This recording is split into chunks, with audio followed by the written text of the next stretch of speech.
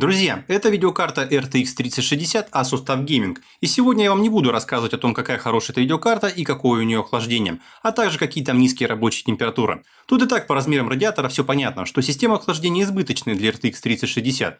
Да, эта карта хороша во всем, но и цена ее намного выше своих более простых конкурентов, а производительность по факту на одном уровне. Конечно, когда речь идет о таких горячих картах, как RTX 3080 и 3090, то там охлаждение играет большую роль и экономить не стоит.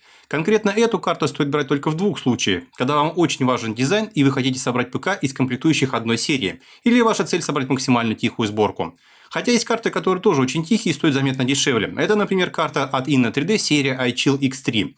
Если вам нужна простая обычная хорошая карта RTX 3060, то самым оптимальным вариантом будет от Polit серии Dual. Обзор на эту карту я уже делал на канале и советую посмотреть тем, кто еще не видел.